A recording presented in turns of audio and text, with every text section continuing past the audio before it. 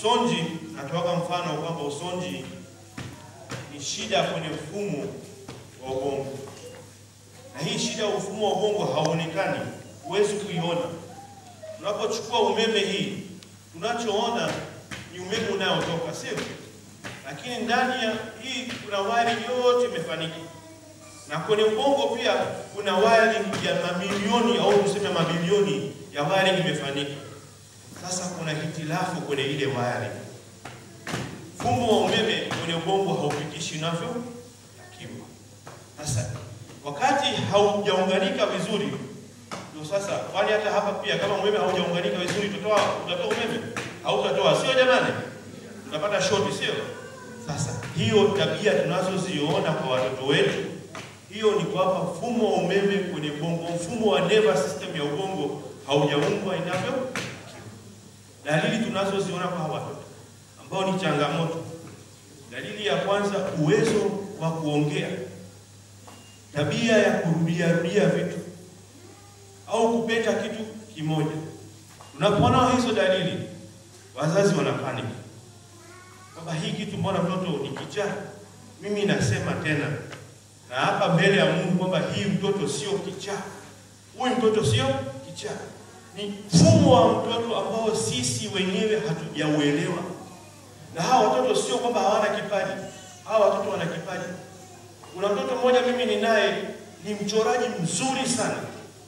Kuna mtoto mwingine anajua kusoma, hajafundishwa lakini anajua kusoma, japo na changamoto, hawezi kuongea, hapendi kwenda hadharani.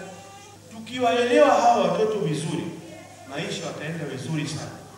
Unapozungumzia swala la usonji, mtu mwingine anaweza kaona ni kama jambo la kawaida sana. Sote tunajua kwamba usonji unatokana na nini? Changamoto iliyoko kwenye nini? Kwenye mfumo wa ufahamu.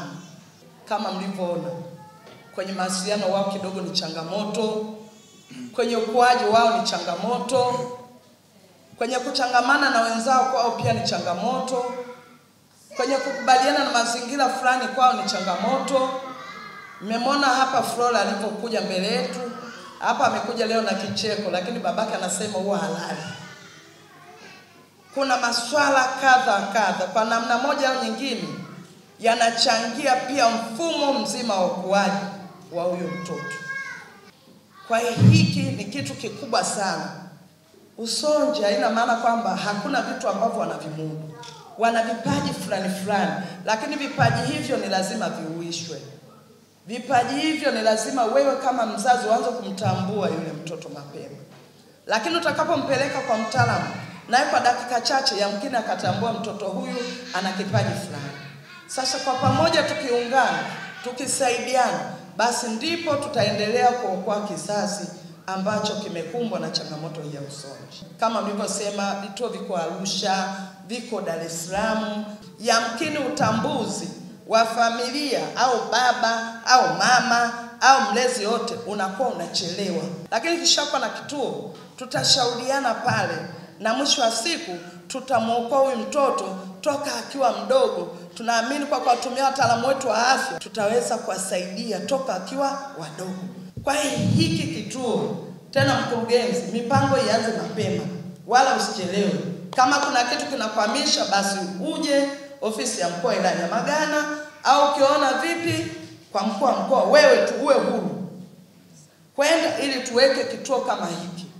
Mimi naamini kabisa tukiwa na hawa watoto kwa pamoja, kila mmoja atatoa elimu yake. Najua mkuu wetu wa mkoa mkono wake ni mrefu, anaweza akafanya mawasiliano wizarani na huku na kule, tukakianzisha hiki kituo kikatusaidia wanakanda ya Ziwa, mikoa yetu huku ndani ya kanda ya Ziwa, Simiyu, wapi wapi wapi, then tukaleta huduma hiyo kwa watoto hao. Kwa ni jambo zuri sana na ni kitu ambacho tunapaswa kutekeleza.